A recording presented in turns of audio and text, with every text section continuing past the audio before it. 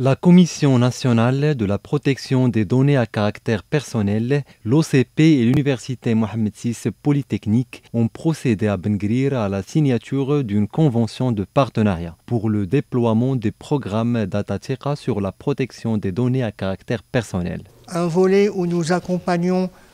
euh, nos partenaires pour euh, une conformité euh, qui soit la meilleure possible mais aussi qui va mettre à leur disposition euh, en avant-première une application de dématérialisation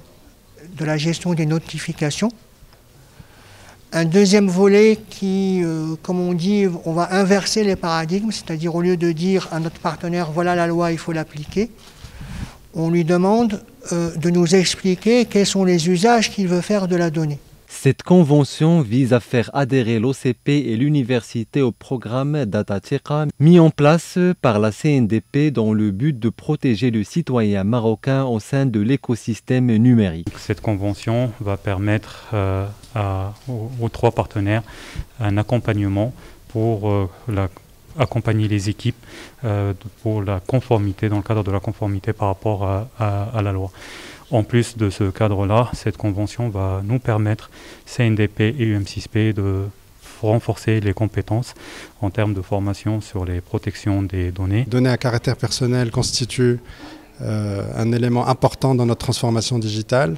pour assurer euh, à la fois euh, le, respect des, droits des utilisateurs et des citoyens